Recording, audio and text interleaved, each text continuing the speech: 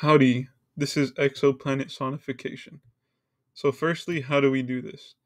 We take a catalog of about 30 different exoplanets from the MAST archive and we gather transiting exoplanet survey satellite data, also known as TESS.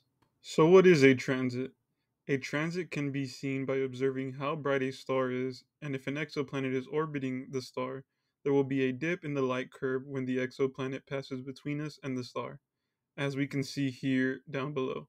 Measuring the amount of time that it takes for a dip to occur again gives us the period for each exoplanet to revolve around its star. We can take this period and perform a Fourier transform to convert this into a frequency.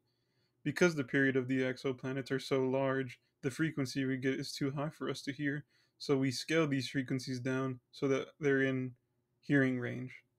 And one interesting relationship we found was the longer the period of the exoplanet, the lower the frequency, and the shorter the period, the higher the frequency. Here is a demo showing this.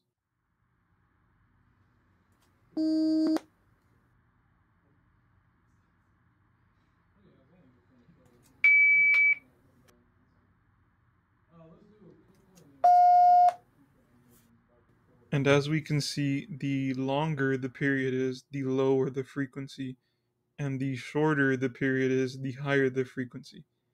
Thank you so much for listening.